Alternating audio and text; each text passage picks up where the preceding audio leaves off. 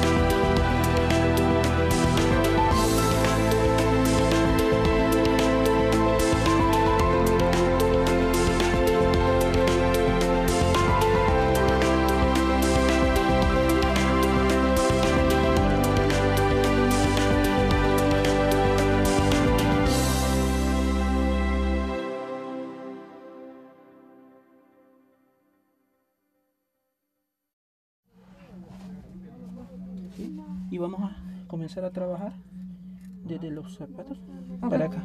¿El cráneo ya lo ahorita lo vamos a fijar. ¿Ya alguien lo sacó?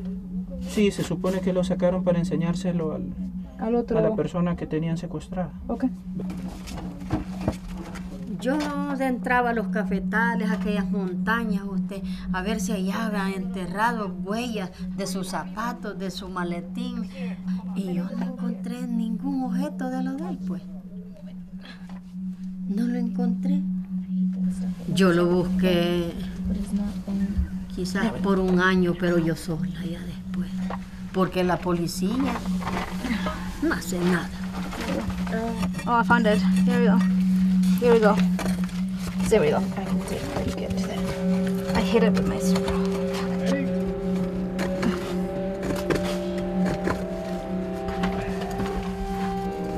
We found femur.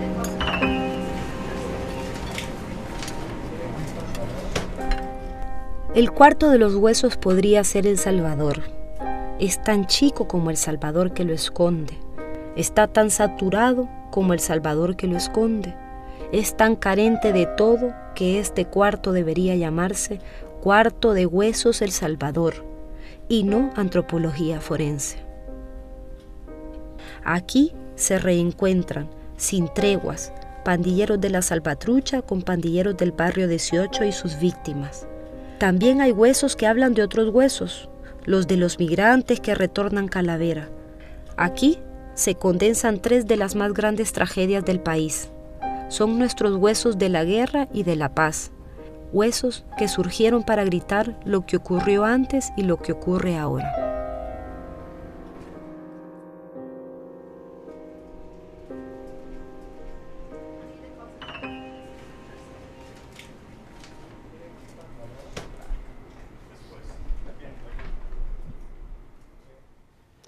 Sobre este documental vamos a hablar, pero también sobre cosas que han que pasan en torno a este documental y que en este momento nos hermanan también como sociedad a la sociedad salvadoreña y a la sociedad mexicana.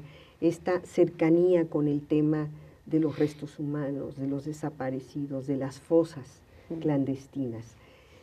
Marcela, yo te quería preguntar, bueno, quería hacer una, una, observación inicial. Tú dices que en el cuarto de los huesos se encuentran los huesos de los muertos de la guerra y los muertos de la paz.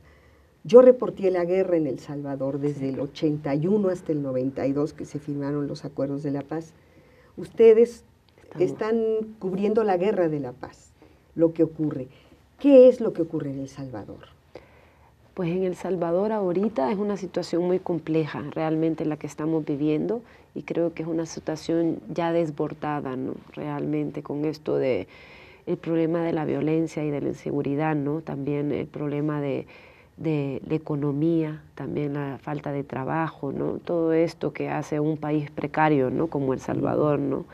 Y como el cuarto de los huesos, ¿no? Así de precario, ¿no? Pero la pobreza no siempre desemboca quiero decir, la pobreza no siempre desemboca en esta violencia extrema. No, Nicaragua, tú tienes el ejemplo de Nicaragua, que no es un país muy pobre y está años luz de ser El Salvador, ¿no? Nicaragua no es, no es violento, ¿no? Te pueden asaltar y qué sé yo, pero no, no pasan las cosas del Salvador, ¿no? Yo creo que el problema del Salvador es la exclusión.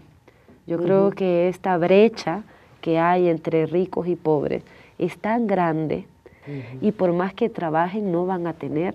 O sea, eh, uno de mis personajes, Marta, de María en Tierra de Nadie, que era una migrante, una mujer migrante centroamericana, ella se fue a El Salvador porque ella había puesto eh, una, un puesto de perfumes en el mercado y la rentearon los pandilleros. Le pusieron una renta que no podía pagar porque no ganaba al día eso. Entonces esta señora se vio en una desesperación, y eso es lo que le pasa a la mayoría de los salvadores, no hay una salida. O sea, la brecha es demasiado grande entre los que pueden hacer y los que no pueden hacer, que no creo que haya en Nicaragua, ¿no? Sí. Yo ponía el énfasis de tu pertenencia al equipo de El Faro, porque El Faro ha logrado canalizar el trabajo de sus periodistas muy talentosos, todos ellos, a reportear de una manera específica el tema de la violencia, primero en, este espacio que tienen de la Sala Negra. Eh, en el marco de la Sala Negra, tú y Oscar Martínez hicieron ese viaje, eh, cinco veces me parece, recorrieron la ruta migrante eh, a bordo de la bestia. está el libro Crónicas Negras y está la película María en Tierra de Nadie yo creo, mi, opinión es que en Crónicas Negras es el, periodismo que profundiza más, que nos explica mejor el tema de las pandillas, el fenómeno particular de las pandillas. ¿Nos puedes hablar un poquito cómo surge y cómo ha ido evolucionando esta, este problema en, San Salvador en particular. Pues todo comienza en Estados Unidos, ¿no? Yo no soy una experta en pandillas, pero por pertenecer a Sala Negra y leer los que escriben mis compañeros, eh, sabemos, ¿no? Eh, las pandillas nacen en el sur de California, es un grupo de jóvenes que se juntan y comienzan a hacer pandillitas que al principio no, no son grupos criminales, ¿no? Después van evolucionando en grupos criminales. Estas pandillas se formaron a finales de los 80 y a principios de los 90 ¿no? y comenzaron a, adquirir el carácter de eh, crimen, eh, crimen organizado un poco, unos cuantos años después de que se formaron. ¿no?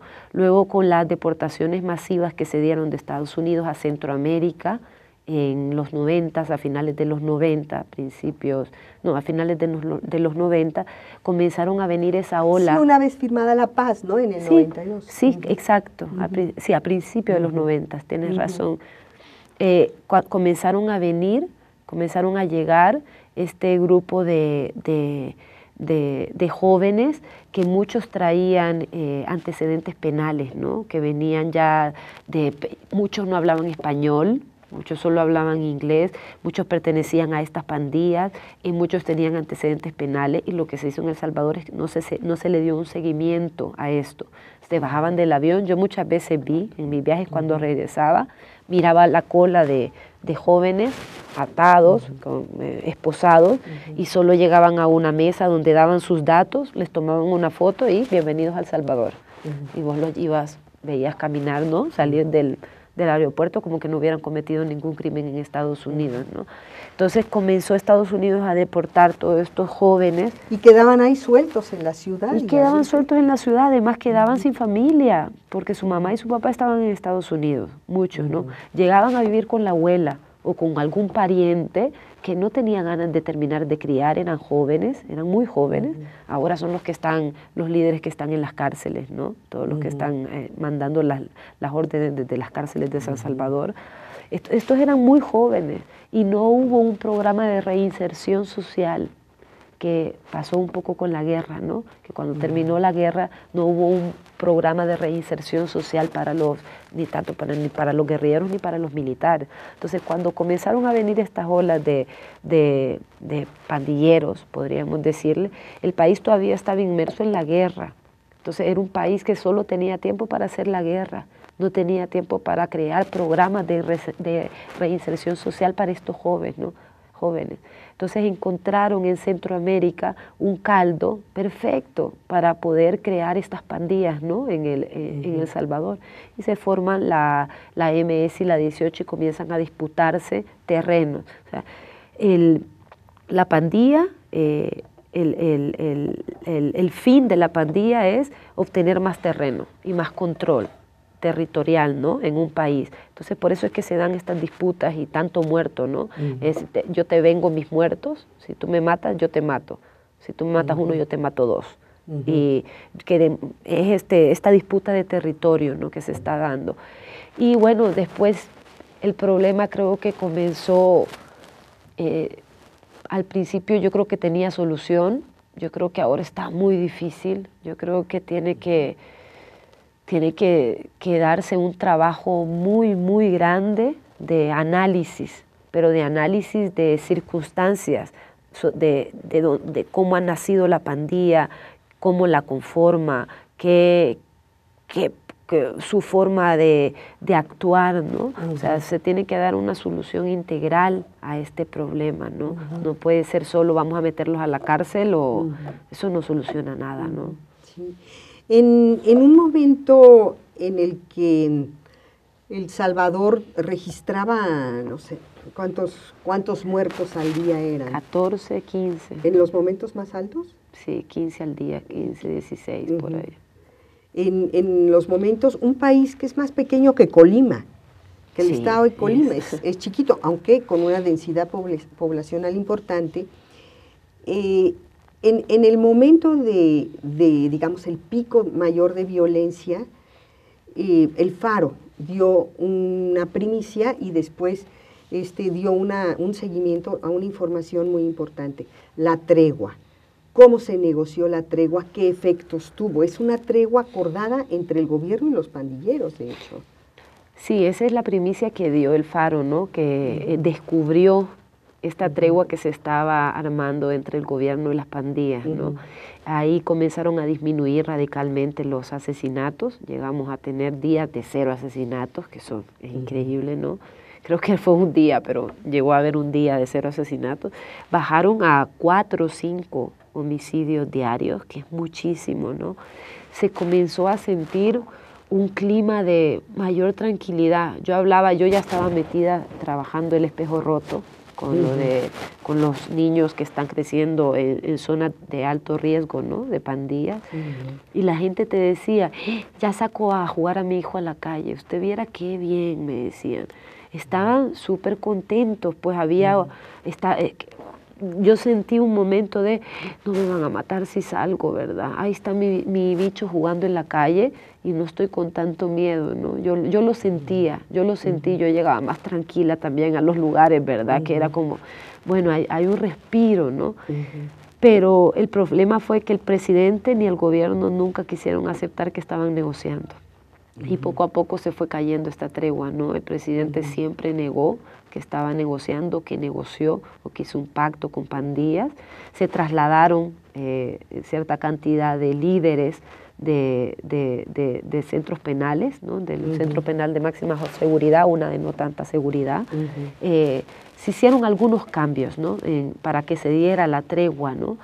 y, pero nunca el gobierno tomó responsabilidad sobre eso. Entonces, poco a poco se fue de- deshaciendo y ahora... Podemos decir era una buena propuesta eh, y no se manejó bien. No. Pudo haber sido la salida y no, Sí. y no se produjo, no culminó. Yo creo que sí, yo creo que fue como aquel intento de firma de acuerdos de paz que se dio en el 82, ¿no? Ujú. el primer intento de firma de acuerdos de paz, que no, no, no cuajó y, y se tuvo que esperar muchos años para volver a llegar a eso, ¿no? Como llegamos. Yo creo que ha pasado esto.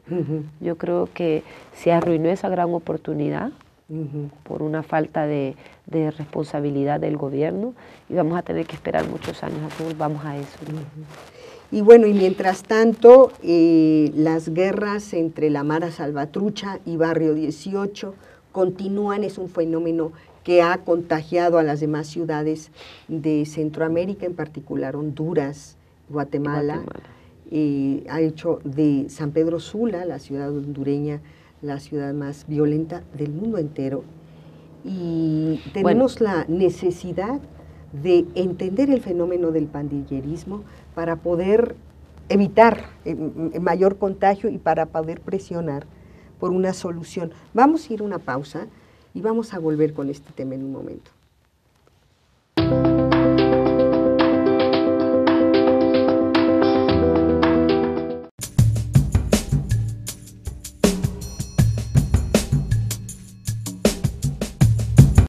Mi nombre es Esther, pero eso no importa ahora. Soy zapatista, pero eso tampoco importa en este momento. Soy indígena y soy mujer, y eso es lo único que importa ahora. En este país fragmentado vivimos los indígenas condenados a la vergüenza de ser el color que somos la lengua que hablamos, el vestido que nos cubre, la música y la danza que hablan nuestras tristezas y alegrías, nuestra historia.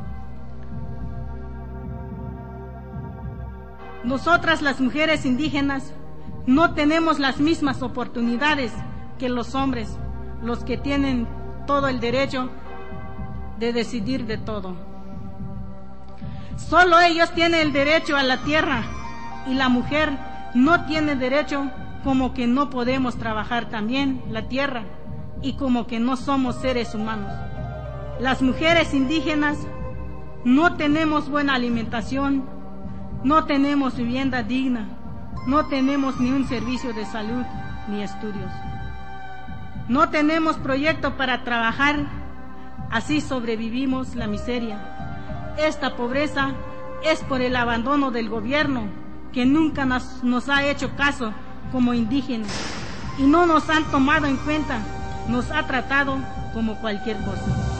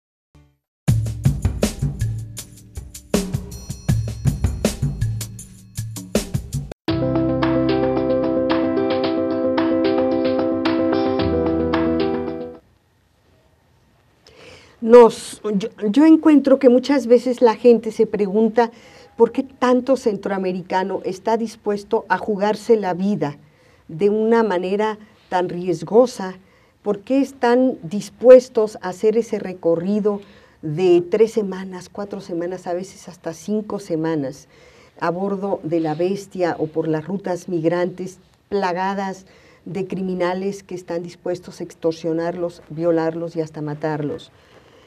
Eh, ¿A cambio de qué? ¿Por salir de sus países para ir a dónde? Yo creo que el cuarto de los huesos, María, es un poco la explicación. Es que la juventud en El Salvador, en Honduras, esto es lo que tiene como perspectiva. ¿Tú no lo ves así? Como perspectiva de ir a Estados Unidos. Como perspectiva de vida en su propio terreno, en su propio país. Sí, la perspectiva de vida creo yo en Centroamérica es bien difícil porque como no hay soluciones, no hay soluciones a, tener una mejor calidad de vida adentro de nuestros países, esa es una de las razones por las que la gente se va también, ¿no? Pero ahora se está dando un fenómeno a, que se está yendo mucha más gente para Estados Unidos, está migrando por violencia. O sea, se está dando un fenómeno de eh, tengo a mi hijo amenazado, tengo a mi esposo amenazado, me han amenazado, me tengo que ir. Y se van para el norte, ¿no? Eso hay muchísimos casos ya y cada vez se está dando más. Se está cambiando el verbo migrar por el verbo huir, ¿no? Son dos, es uno de los componentes que se está dando ahora con esta guerra de las pandillas, ¿no? Yo encuentro en los tres documentales, eh, los tres que conozco, que has hecho, eh, hay una, una, están muy concatenados, hay una gran relación. ¿Por qué migra la juventud? ¿Por, qué migran las mujeres y los hombres de El Salvador? Después está el espejo roto, quizás sea el menos conocido, a mí es el que más me emociona y, y muy doloroso, porque se trata nada menos que los niños que viven en los barrios dominados por las pandillas y que tienen vedada la calle vedado el recreo. Totalmente. Eh, y que pueden tener mamás y papás pandilleros y que pueden cualquier día encontrarse un cadáver en la calle. Sí. Y este otro tercero que es, y esto es lo que pasa con los muchachos, que terminan en fosas comunes, que terminan desaparecidos, sus mamás buscándolos. Eh, ¿cómo, ¿cómo, abordas el, qué es lo que te empuja a, a hacer esta última historia, la del cuarto de los huesos? Pues la del cuarto de los huesos, ay, yo comencé con esto desde hace como tres años. Comencé con la idea de contar la historia de los nuevos desaparecidos, ¿no? O sea, siempre se ha hablado de los desaparecidos de la guerra. Siempre se habla de, los conflictos de la guerra, de los desaparecidos en la guerra, pero no se habla de los desaparecidos con, el, con la guerra actual, porque esto es una guerra lo que estamos viviendo. Dos bandos están peleando un territorio, ¿no? Entonces, eh, a mí lo que me motivó fue haber conocido a las madres que andan buscando a sus hijos desaparecidos aquí en el territorio mexicano. Cuando yo las conocí a ellas, para mí fue una cosa dolorosísima, ¿no? Verlas a estas mujeres desesperadas porque ni siquiera podían venir a buscar a sus hijos porque no les daban una visa de entrada a México y no eso es muy duro, ¿no? Se tienen que venir de forma clandestina, se vienen a preguntar a, a, las zonas de burdeles y de bares que a veces se las llevan y las tratan a las mujeres, ¿no?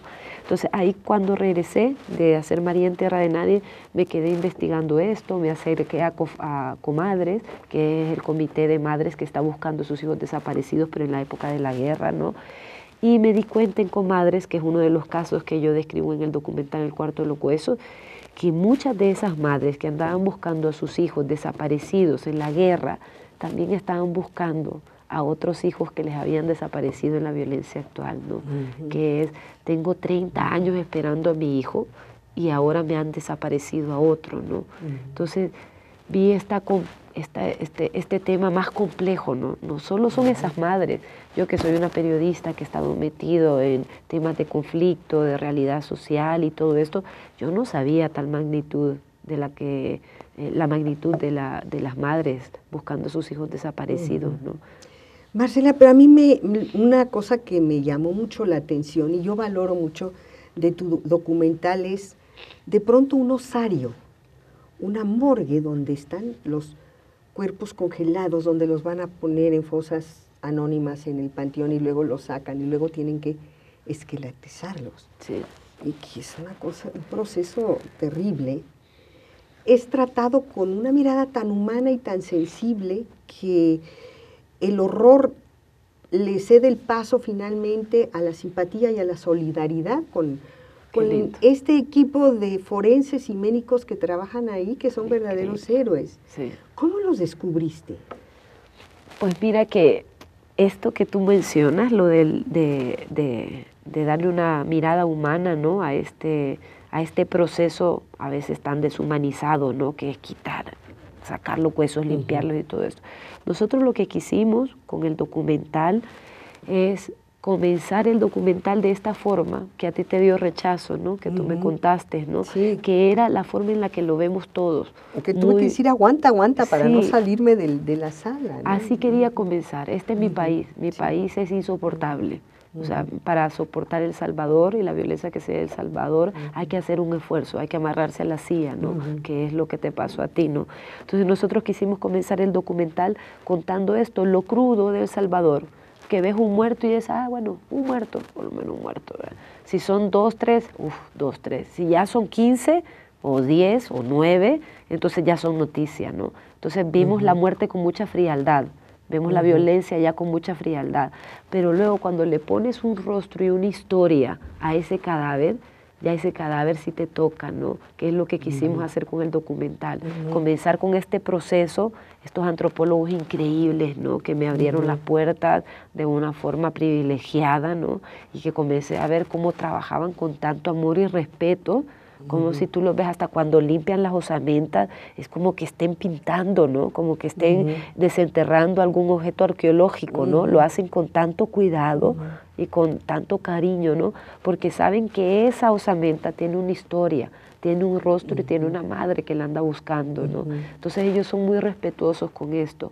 Y eso es lo que quisimos hacer con el documental a medida que iba caminando, que se te olvidara que eran osamentas nada más, sino que esos son seres humanos y que todos estos seres humanos tienen una madre, tienen una abuela, una tía, un padre, ¿no? un hermano que los anda buscando. ¿no? Entonces, esto me enseñaron los, los arqueólogos ¿no? cuando yo entré a, trabajar con ellos. Y solo para contarte una anécdota, la, semana pasada yo se los proyecté a ellos, les hice una proyección especial para ver qué, qué opinaban del documental. Y cuando encendimos las luces, la doctora Aguiluz estaba llorando y me decía, es que no es lo mismo trabajar que verse trabajar. yo esto lo hago, lo hago, pero nunca me había visto hacer el trabajo y me conmueve mucho ver mi trabajo. Yo les decía que para mí ellos eran unos héroes porque yo estuve solo tres semanas filmando su día a día con ellos y yo terminé devastada, yo terminé que no podía yo. Yo les decía, ¿cómo puede? Yo les preguntaba, pero ¿cómo, pueden ustedes aguantar esto todos los días de su vida? Y me decía, ¿sabes cómo? Con las restituciones. Cada vez que nosotros hacemos una restitución, nos da la fuerza para trabajar un mes entero más. Claro, en el momento en que finalmente los huesitos de un joven es restituido a su mamá, eh, y, a, y, a, su familia. Eh, yo, yo, creo que el espectador del documental siente el mismo alivio y la misma, es la misma sensación de compensación después de tanto sufrimiento, aunque sea un, un, final tan triste, es un final por lo menos, ¿no? que es el tema de los desaparecidos.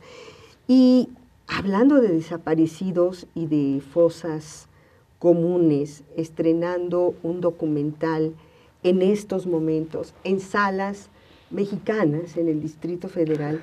¿Qué te has encontrado, Marce? Fíjate que ha sido bien impactante porque ya me había pasado un poco con María en Tierra de Nadie, ¿eh? pero este, este, yo creo que este tema es más silencioso todavía. Cuando termina la película hay un silencio, la gente no aplaude, es como de repente algo como sin mucha fuerza, es, duro de, soportar, creo que es un tema muy duro para los mexicanos y además que el tema de desaparecidos en México es diferente que en El Salvador porque en México los desaparecidos están en todas las clases sociales, o sea, el narco si necesita un arquitecto va y capta un arquitecto, Si necesita un, un ingeniero, agarra un ingeniero. No le importa si es clase media, baja o lo que sea. Los desaparecidos tienen todos aquí. Es todavía es un tema que está muy visibilizado. En El Salvador no. Los desaparecidos son la clase baja, ¿no? Entonces, se ha, se ha dado unas discusiones increíbles después de la película. Tú pudiste estar en una.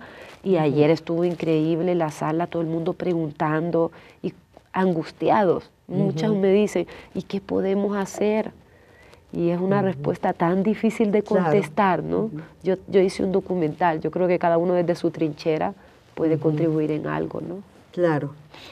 Y, bueno, esto es, es, el tema de los desaparecidos y es el tema de, también en México conocemos, hablabas de las madres centroamericanas buscando a sus hijos migrantes muertos en nuestro territorio, para vergüenza nuestra. También tenemos eh, y muy fresco y muy presente con el tema de Ayotzinapa, a las madres y los padres buscando a los hijos desaparecidos. Hay una abuelita en tu película que, que a mí me, me, llamó mucho la atención. Me contabas algo de ella. ¿Me puedes hablar un poco de este personaje? Pues esto, este personaje es súper fuerte porque las abuelas en El Salvador son bien importantes, o sea, tienen un papel fundamental porque son las que aguantan. O sea, las abuelas en El Salvador crían dos veces, en El Salvador no crían una vez, crecen mm. dos hijos, dos tandadas de hijos, ¿no? Los hijos de sus hijos y sus hijos. Entonces, ¿por qué? Porque los hijos de ellas los matan y se mueren y les dejan los, los, los, los, nietos, o se van para Estados Unidos y les dejan los nietos, ¿no? Entonces ellos, ellas tienen que criar dos veces.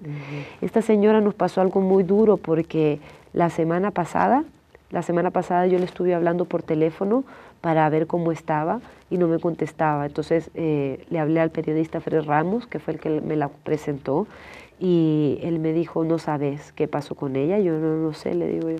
Eh, a ella le habían prohibido que buscara a su hijo desde la cárcel y no hizo caso. Entonces siguió buscando a su hijo y desde adentro de la cárcel salió una orden para matarla. Y ahí tenía un familiar ella que logró que la orden se cambiara, que cobrara renta. Entonces la habían puesto a cobrar la renta la viejita y la policía la agarró cobrando renta y ahora está penando ciertos años de cárcel ¿no? en, el, en el penal de, de mujeres ¿no? de, de Lopango. Sin haber encontrado al nieto. No, ni la oportunidad de buscarlo, ¿verdad? Con esta historia nos vamos a un corte.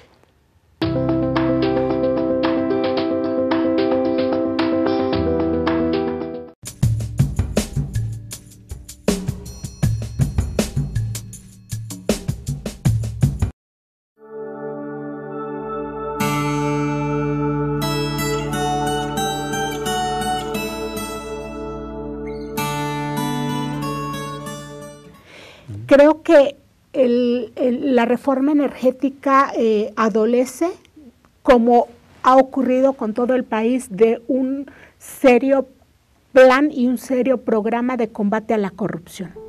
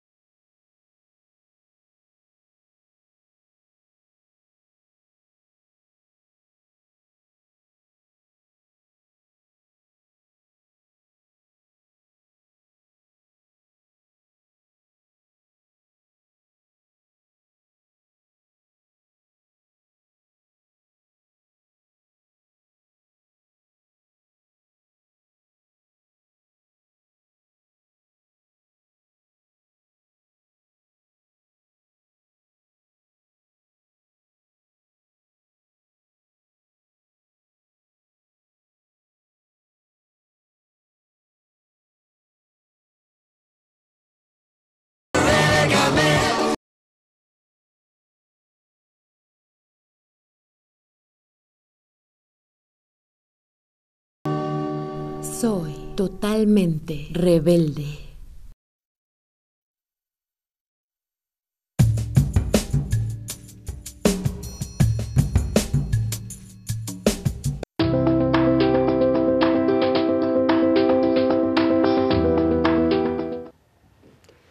Marce, nos decías eh, a propósito de esta anécdota de, de la abuelita que, que la amenazan desde la cárcel.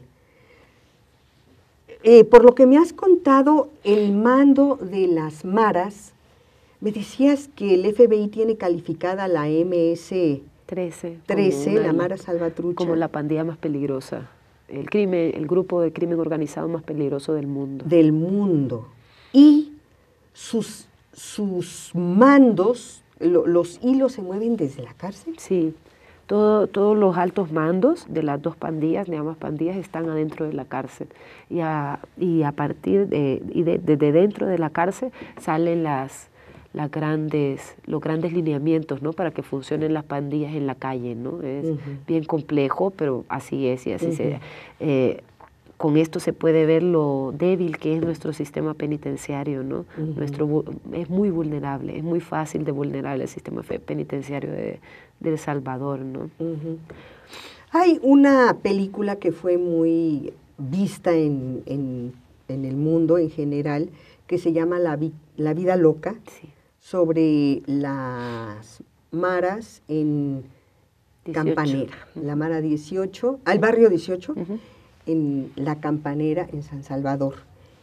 Antes de que fuera estrenada mundialmente, el cineasta, un periodista, Cristian Poveda, fue asesinado. Y fue asesinado por los mareros este, justamente ahí. Tú conociste el caso, Marcel.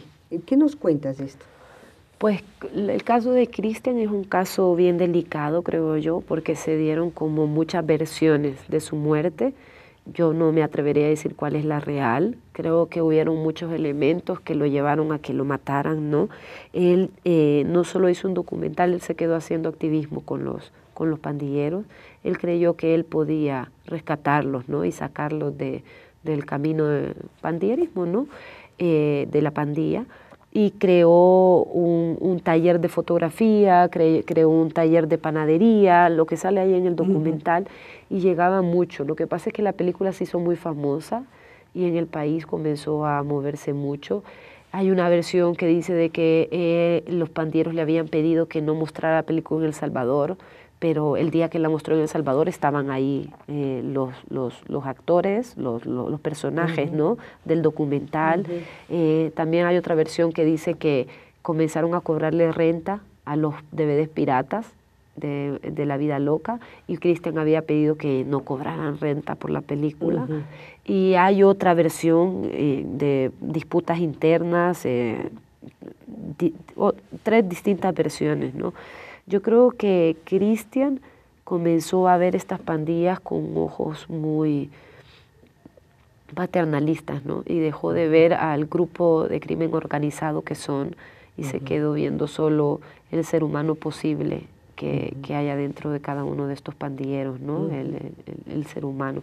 Que está bien, pero no puedes dejar de ver el, el grupo de crimen organizado, no te puedes confiar plenamente, ¿no? Hay una forma en la que se actúan las pandillas y tenés que estar muy consciente de eso, ¿no? Para poder cubrir esta, estos temas, ¿no? Y con la vida loca 5, pues pasó eso, con la vida loca nada más. Es que a mí me pasó algo porque yo estuve filmando en la Villa de Jesús, que también estuvo ahí Cristian filmando, y, y cuando yo entraba en las cámaras con, con- con el espejo roto, yo estaba filmando a los niños, ¿no? Yo había pedido permiso a la pandilla y todo, y me habían dejado y todo bien. Pero cuando yo entraba con las cámaras, los pandilleros que estaban arriba, porque son como laberintos, esos barrios son como laberintos, se sentaban en los muros y me gritaban, ¿qué? La vida loca 5. Y yo, no, no es la vida loca 5, ¿verdad? Yo vengo a filmar otra cosa. Entonces les quedó muy metidos a ellos, ¿no? Esto de lo que había pasado.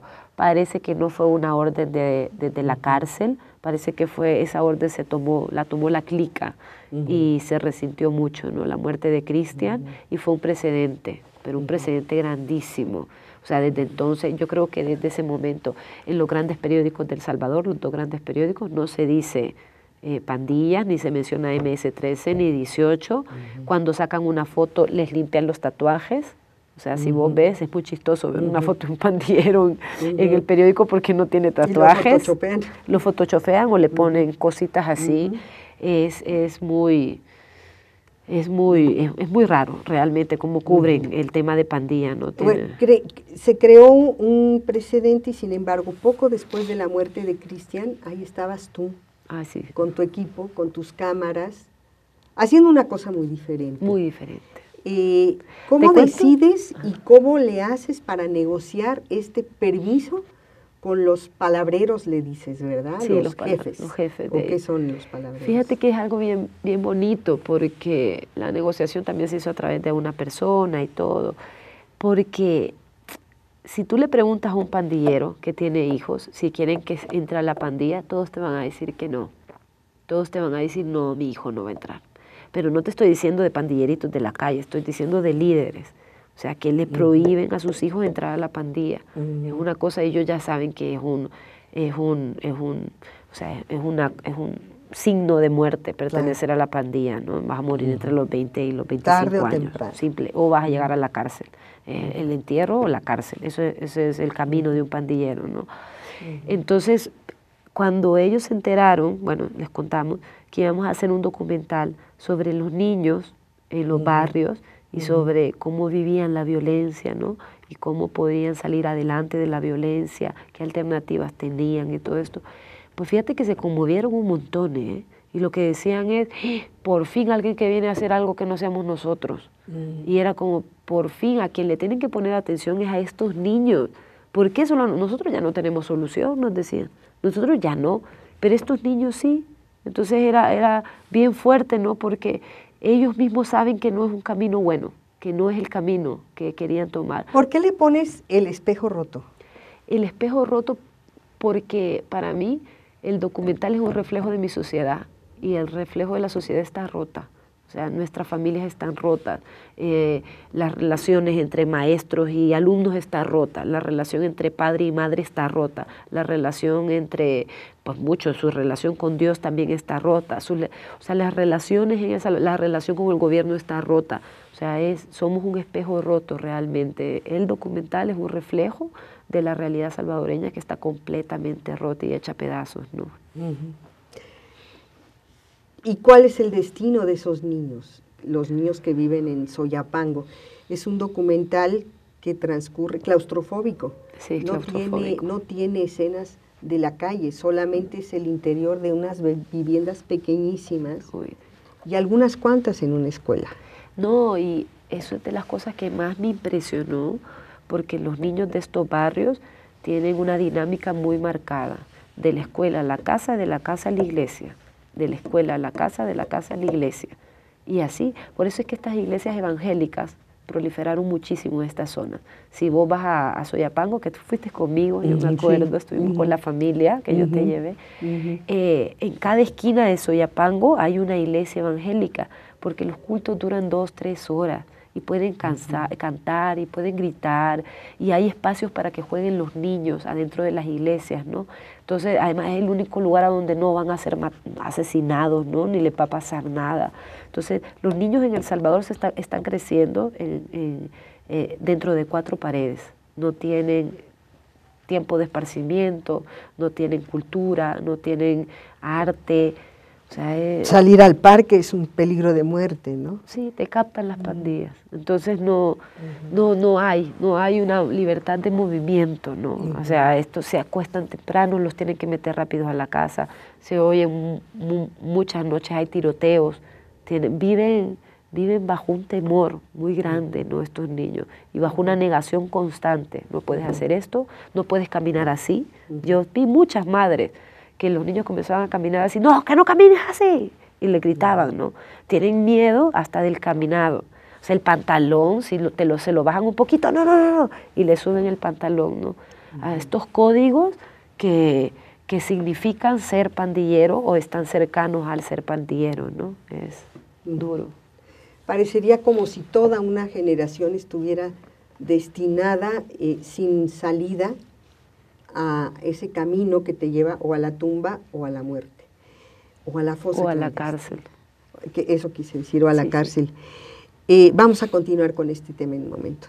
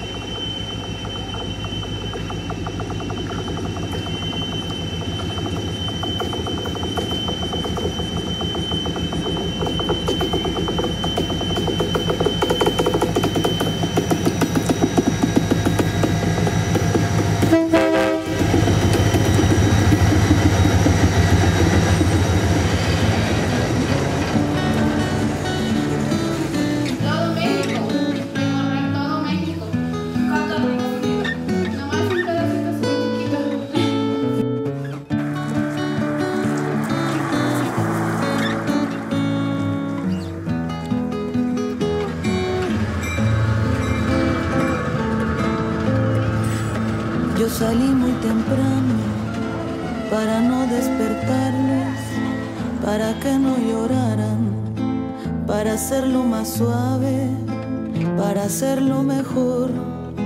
Una mano en el pecho, Yo estoy con la fe y la esperanza que yo voy a encontrar a mi hija, porque mi corazón es día y noche. Yo paso llorando porque yo sé que la voy a encontrar, porque ella tiene dos niños. Y por eso, por causa ando aquí, caminando para encontrarla.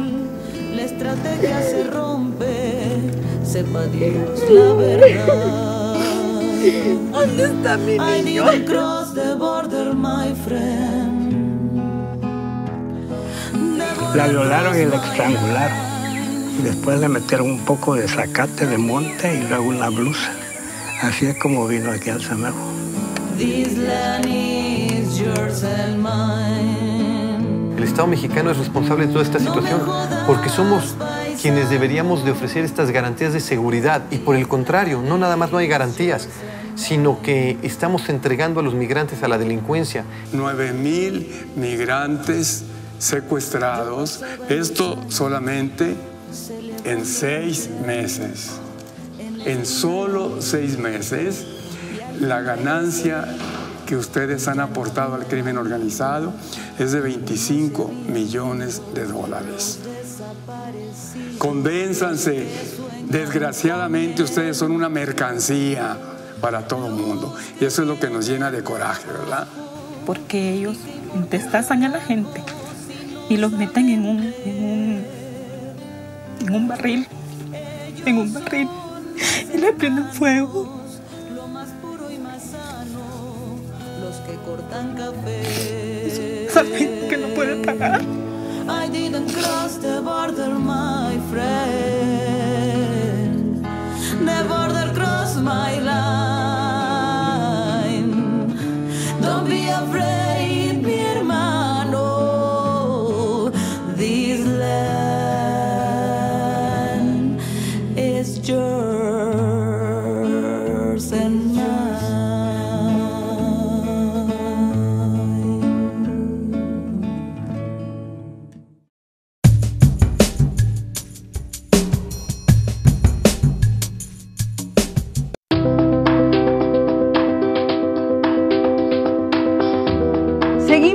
con Marcela Zamora, cineasta, periodista, salvadoreña, nicaragüense, también eh, hablando del tema de las pandillas, de cómo lastima a los niños. Y un tema que queda pendiente, acabamos de ver ahorita en el intermedio, un tráiler de su película sobre las mujeres migrantes, María en Tierra de Nadie, que a mí me gusta mucho esa película porque vemos que muchos mexicanos han hecho películas un poquito como eh, La leyenda de la bestia y ese tipo de cosas, y no entendemos la perspectiva del migrante, del centroamericano, de la centroamericana, que no sale por gusto ni a turistear, a hacer este viaje. Y esta perspectiva de las mujeres, estas señoras han dejado atrás en El Salvador a sus niños. Ay, muy fuerte. El papel de la mujer en El Salvador es muy duro. Hablábamos en, en la, en, la, en, el- la UNAM, cuando presenté el documental, yo les decía que las mujeres en El Salvador son las que aguantan todo. O sea, los hombres son los que se pusieron a hacer la guerra, los hombres son los que están en la pandilla, los hombres son los que desaparecen. La mujer es- aguanta muchísimo porque aparte de que es la que trabaja y lleva el sustento a la casa, es la que cría a los hijos, es la que los protege, es la que vela por ellos, es la que hace todo, ¿no? Realmente en El Salvador la mujer es increíble, creo yo, ¿no? Y cuando no le queda ninguna alternativa, es que le toca irse a Estados Unidos. O sea, esto de la madre mala que dejó a los hijos y se fue, no, no es una madre mala que dejó a sus hijos y se fue, es una madre que ya no encontró más nada que hacer que irse para allá, ¿no? Como Marta, el personaje de María en. Tierra de Nadie, Marta ya no pudo, después que le rentearon el, puento, el puesto, que le, le pusieron renta a su puesto, le amenazaron de muerte a- a- con uno de sus hijos. Eh, bueno, le hicieron tantas cosas que lo que le tocó es agarrar camino para el norte, ¿no? Y se quedaron sus hijos con las abuelas, otro gran papel, ¿no? En El Salvador. Claro. Las madres, eh, mi suegra tiene una organización, eh, una escuela que, que le da eh, refuerzo estudiantil a niños de escasos recursos que están viviendo en estos sectores, en Soyapango, a donde dice el espejo roto, ¿no? Y me contaba una anécdota súper fuerte, súper fuerte, pero que yo creo que refleja eh, lo que viven las madres en El Salvador. El, 80, el 89% de las madres que viven en El Salvador, que son de clase baja, ¿no? Y muy, muy humilde. Dice de que eh, un día le llegó un niño todo golpeado, tenía el cincho eh, marcado en la espalda, ¿no? Un niño de 8 o 9 años, y que ella se enojó muchísimo, muchísimo se enojó, ¿no?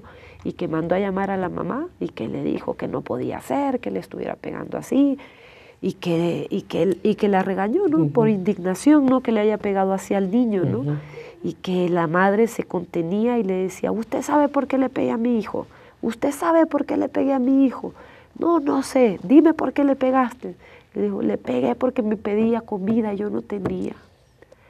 Entonces, es, a mí me desarmó esa historia, ¿no? Entonces ella se desarmó también, dice que se puso a llorar y que la abrazó. Y dice, vos no sabés la tragedia que viven estas mujeres. O sea, no, no se puede juzgar tan rápido. Viven, viven sobreviviendo día a día, ¿no? Ese es el día a día de las mujeres, de las madres salvadoreñas, ¿no? Y también les toca muchas veces ser víctimas directas del asesinato o de la violencia sexual que es muy común en las pandillas. Es muy común, es muy común. Ellos ven, la muerte está en las, ca- en las calles, ¿no? O sea, la muerte no está escondida. Bueno, sí, también con los desaparecidos, ¿no? Pero ellos no tienen temor de dejar un cuerpo tirado, ¿no? Y mutilado, y, y matan de cualquier edad, ¿no? Generalmente. Sí, sí, no, es, es, es- es duro para, para las mujeres eh, Sale- sacar adelante. Y hay mujeres mareras que se incorporan. no. Ahorita no. Eh, mira, cómo e- eso cambia, pero lo último que yo sabía es que no, que ahorita solo hay hombres. Las mujeres colaboran. Las mujeres las toman como colaborantes, no son las que cobran la renta, las que llevan las noticias, las que llevan los, los mensajes a la cárcel, las que sacan los mensajes de la cárcel, los que meten celulares a la cárcel. O sea, son como, son como el, grupo operativo de las pandillas, ¿no? Las, Y porque las no les queda otra, viven ahí, ¿no? También. Sí, no, lo, lo tienen que hacer. O sea, si la pandilla te pide eso, lo tienes que hacer. Si no, te van a desaparecer, te van a violar, te van a hacer cualquier cosa, ¿no?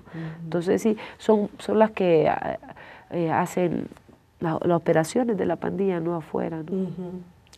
Eh, viendo esta situación que nos estás describiendo, uno puede entender mejor, digamos, la necesidad de una tregua. Ahora con el nuevo gobierno del presidente Sánchez Serén, ¿cómo se está manejando este tema de las pandillas y la o la tregua como una salida? Mira, eh, el presidente no está haciendo nada. O sea, ahorita ya lleva más de ocho meses en el poder y no se ha puesto en práctica más que la policía comunitaria, ¿no? Que muy difícil arreglar este problema con solo poner policía comunitaria, ¿no? No hay un plan. Yo creo que el gobierno todavía no dimensiona, no entiende la dimensión del problema. Quizás están buscando cómo entenderla y cómo entrar a, la- a las soluciones, ¿no? Cómo establecer, pero ya llevan mucho tiempo. Ahorita se ha hecho una nueva tregua, pero, pero es muy confuso porque Pero una tregua también producto de acuerdos, policías, gobierno, todavía no los se sabe. palabreros en la cárcel. esta todavía no se sabe. Pero es muy raro porque las elecciones son en marzo y de repente ahorita bajamos a cuatro homicidios diarios. Estamos cuatro, cinco, seis, por ahí estamos, ¿no? No estamos en los 15 que, que solemos estar, ¿no? Por ahí. Entonces, eh, es raro, todavía no hemos logrado descifrar qué es lo que está pasando, pero eh, si esta nueva tregua, eh, yo creo que sí, yo creo que hay una negociación por debajo. pero todavía no ha salido a la luz, ¿no?